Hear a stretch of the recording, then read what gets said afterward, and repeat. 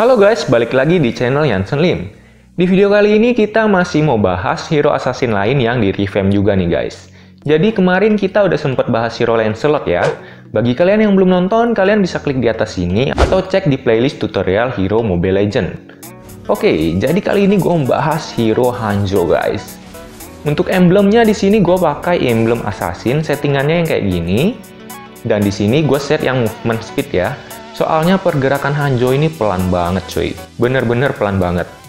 Dan buat itemnya di sini gue set yang kayak gini. Dan lagi-lagi gue bawa sepatu rapid boots yang nambahin movement speednya paling tinggi. Dan kita juga beli item-item untuk attack speed, karena attack speednya pun pelan banget. Dan untuk battle spellnya di sini gue bawa sprint ya guys, karena menurut gue ini bagus banget buat dikombinasiin sama ultinya nanti. Atau buat Hanjo bisa kabur juga bagus. Oke, seperti apa skill-skillnya? Langsung aja kita bahas ya. Oke, seperti biasa kita bahas pasifnya dulu guys. Tapi sebelum kita mulai, gue mau minta tolong buat kalian yang suka sama video tutorial kayak gini, boleh dibantu supportnya ke channel ini ya guys, dengan klik tombol subscribe dan like. Bantu-bantu ya guys, karena nggak ada ruginya pencet tombol subscribe, ini gratis. Oke, kita mulai dari bahas pasifnya guys. Jadi kalian bisa lihat di sini untuk hero Hanjo itu nggak punya bar mana ataupun bar energi. Jadi dia punyanya bar Demon Blood. Demon Blood ini bar warna merah yang berguna untuk nentuin berapa lama durasi ultinya Hanjo. Dan untuk ngisi Demon Blood ini ada caranya guys. Ada empat cara untuk kalian dapetin Demon Blood ini. Kita bahas dulu cara pertama ya. Jadi cara pertama, setiap ada unit lawan yang bukan hero, jadi kayak minion atau monster jungle, yang mati di dekat kalian itu setiap unitnya bakalan ngasih kalian 2 Demon Blood. Sedangkan, untuk hero yang mati dekat Hanjo, itu Hanjo bakal dapetin 20 Demon Blood per hero. Jadi 10 kali lipatnya daripada minion atau monster jungle. Nah, untuk cara selanjutnya bakal kita bahas di pembahasan skill-skillnya guys. Jadi kita mulai aja dari pembahasan skill satunya dulu ya. Oke, sekarang kita bahas skill satunya. Skill satu ini biasa gue upgrade pas pertama baru mulai match guys, karena dia bisa dipakai untuk nyuri buff musuh. Nah, supaya kalian bisa pakai skill satu ini, ada syaratnya ya. Syaratnya itu, kalian harus pakai basic attack kalian ke target selama 5 kali dalam durasi 6,5 detik yang bisa kalian lihat di sini indikatornya. Jadi sebelum kekumpul 5 stack basic attack, itu kalian nggak bakalan bisa pakai skill satu ini. Jadi kalian bisa lihat di sini, setiap kita pakai basic attack, itu indikator pasifnya nambah stacknya. Dan animasi skill satunya pun berubah ya guys, jadi ada nyala-nyalanya itu sesuai dengan stacknya. Ini kalian basic attack-nya boleh ke hero lawan, minion, monster jungle, lord, atau turtle juga boleh ya, asalkan ada kena target. Jadi kalian nggak gebuk-gebuk angin doang ya. Dan ingat di sini ada durasinya ya guys. Jadi kalau durasinya habis, kalian nggak bisa pakai skill satunya dan harus kumpulin 5 stack basic attack-nya lagi.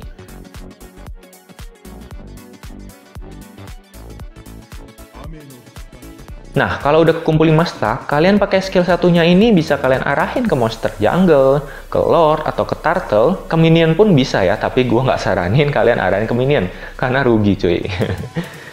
Kalau targetnya monster jungle, nanti monster jungle-nya bakalan langsung ditelan sama skillnya Hanjo, dan ada proses mencerna dulu guys. Ini bar indikator proses skill satu Hanjo lagi mencerna targetnya. Kalau sudah selesai dicerna, nanti Hanjo bakalan dapetin efek dari si monster jungle itu guys. Jadi misal kalian arahin ke buff, nanti selesai cerna baru buffnya aktif. Kalau kalian arahin ke Klomang, nanti beres cerna baru kalian dapetin goldnya itu guys. Gitu ya. Jadi intinya ini sama kayak kalian ngekill monster jungle, tapi kalian nggak usah gebuk-gebuk, kalian langsung telan dan kalian bisa tinggal jalan ke tempat lain atau farming di tempat lain. Dan kalian bakalan dapetin efeknya pas udah selesai dicerna gitu guys. Nah, untuk setiap unit yang ditelan itu bakalan nambahin 10 Demon Blood buat Hanjo. Jadi ini cara kedua untuk dapetin Demon Blood ya guys. Nah, gimana kalau kalian coba aren ke Turtle atau Lord? yang pastinya ya nggak akan langsung ditelan lah ya cuy, karena keenakan nanti kalian kalau lordnya langsung ditelan. Jadi kalau kalian aren ke turtle atau ke lord, itu Hanjo bakalan ngasih true damage ya guys, jadi nggak akan langsung ditelan. Besar true damage-nya itu tergantung dari level Hanjo. Kalian bisa lihat di sini, jadi true damage-nya ini makin meningkat sesuai levelnya Hanjo, dan Demon Blood yang kalian dapat juga semakin meningkat. Oke, sekarang kita bahas skill 2-nya guys. Untuk skill 2-nya ini ada perubahan ya, jadi dulunya nggak kayak gini. Kalau sekarang itu kalian pakai skill 2 ini bisa kalian arahin dan ini serangannya area ya sebesar ini. nanti kalau kalian pakai, area itu bakalan ada duri-durinya dari bawah.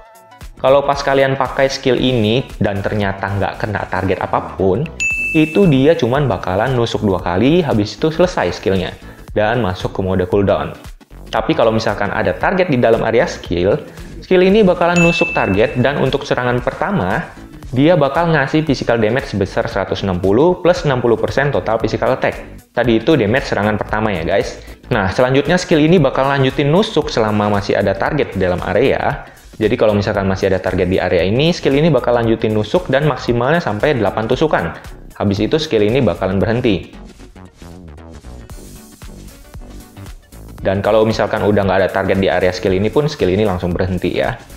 Nah, untuk serangan lanjutan yang kali ini, itu masih damage yang lebih kecil daripada tusukan pertama tadi. Jadi kali ini setiap tusukan bakal ngasih physical damage sebesar 40 plus 15% total physical attack. Dan bakal ngasih efek slow sebesar 40%. Nah, setiap satu hit itu bakal ngasih Hanjo satu Demon Blood guys. Jadi ini cara ketiga untuk kalian dapetin Demon Blood.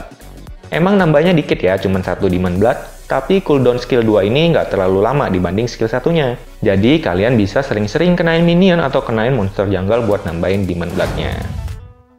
Oke, terakhir skill 3-nya guys. Jadi penggunaan skill 3 ini durasinya bakalan dipengaruhin sama banyaknya demon blood yang udah kalian kumpulin guys. Pas kalian pencet skill 3 ini, Hanjo bakal dapetin tambahan 20 demon blood. Jadi ini cara keempat untuk kalian dapetin demon blood ya. Hanjo dapetin 20 Demon Blood, tapi selama pakai ultinya ini Hanjo konsumsi 10 Demon Blood per detik guys. Jadi kalau kalian belum kumpulin Demon Blood sama sekali, memang kalian bisa pakai ultinya, tapi palingan 2 detik juga udah kelar ya. Karena pas pakai ulti ini dapat 20 Demon Blood dan setiap satu detik konsumsinya 10 Demon Blood. Jadi kalau bisa pas kalian mau pakai ulti itu tunggu kalian kumpulin Demon Blood yang cukup ya guys. Jangan belum kumpul kalian udah pakai ulti karena dia bakal selesainya cepet. Oke, Pas kalian pakai ultinya itu, Hanjo bakalan ninggalin badannya dan berubah jadi bentuk roh gitu. Kalian bakal bisa nembus dinding. Nah, untuk HP rohnya ini sesuai sama HP si Hanjo pas kalian pakai ulti ini pertama kali. Rohnya si Hanjo ini bakalan dapetin movement speed dan attack speed tambahan masing-masing sebesar 30%. Tapi, physical sama magical defense-nya bakal dikurangin sebesar 50%. Jadi daya tahannya agak berkurang, tapi attack speed sama movement speed-nya ditambah. Nah, skill 1 dan skill 2 Hanjo jadi berubah guys. Skill 2-nya itu tetap serangan area, tapi pas kalian pakai, roh Hanjo bakalan ngilang sebentar dan imun.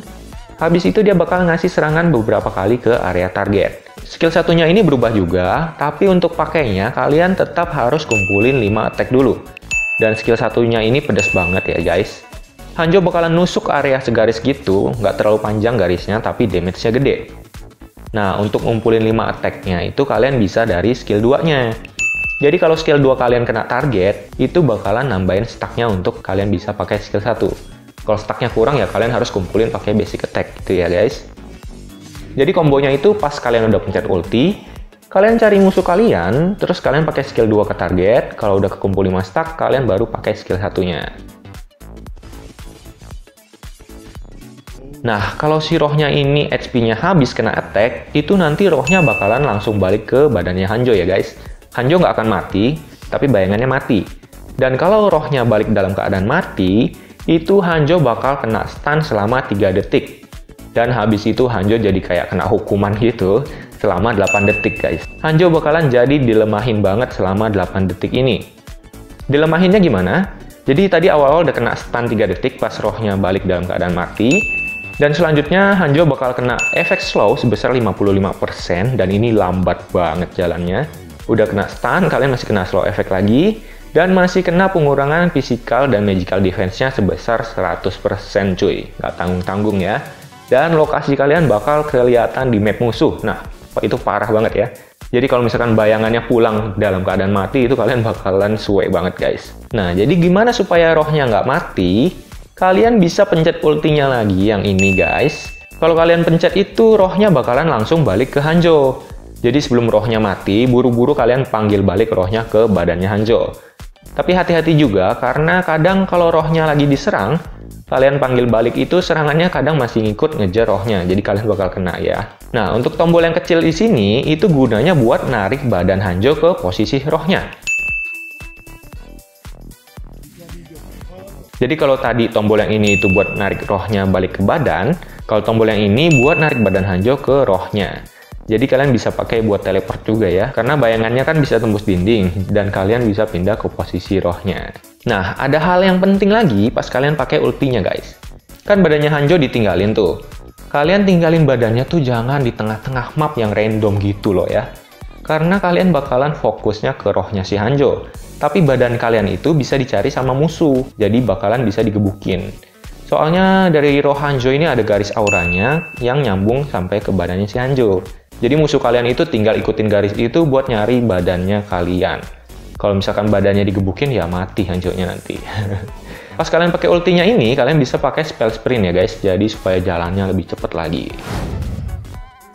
Oke, sekarang gue punya tips buat kalian yang mau pakai hero Hanjo ini guys. Pertama, kalian pas awal match bisa unlock skill satunya dulu supaya kalian bisa nelen monster jungle. Nah, di sini usahain kalian tuh nelen monster jungle-nya lawan kalian ya cuy. Jadi bukannya malah gerecokin tim sendiri dengan nelen buff teman kalian. Nah, untuk bisa nyolong buff lawan, kalian bisa pergi ke mid lane pas baru mulai. Kalian sembunyi dulu di rumput yang ini guys, karena biasa kalau kalian pakai Hanjo, musuh kalian tuh udah antisipasi kalau buffnya mau dicolong. Kalian jangan sembunyi di rumput yang ini ya, karena biasa mereka pasti suka ngecek ke sana. Kalau situasinya memungkinkan, kalian bisa nungguin kelomang yang ini nongol dulu, buat kalian ngumpulin 5 basic attack-nya supaya lebih deket kalian jalan ke buff-nya guys. Nah, kalau udah kekumpul stack basic attack-nya, langsung aja deh kalian naik ke atas, kalian arrange skill satunya ke buff yang gede ya, jangan malah ngambil buff yang kecil. Nah, karena Hanjo gampang jungling, kalian bisa beli item jungle yang max ya guys, yang Raptor Message. Intinya untuk pakai Hanjo, kalian harus ngumpulin Demon Blood dan manfaatin ultinya untuk serang lawan. Simpen badan kalian yang agak jauh yang susah disemperin musuh, bisa di dalam tower juga. Terus kalian harus gesit manggil rohnya balik atau bisa juga manggil badan kalian untuk teleport. Oke, langsung aja kita lihat gameplaynya guys.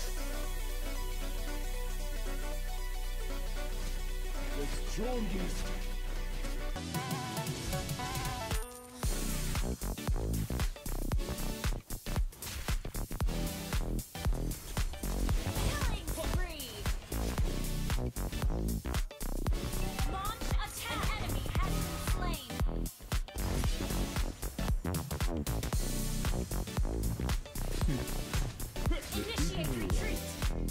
Feel